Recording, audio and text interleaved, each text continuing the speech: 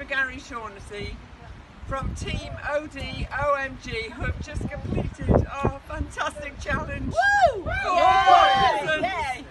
Uh, Gary, we are in awe of what you're about to do in the Arch to Arc, and we wish you all the very best. And we all want to say, live life,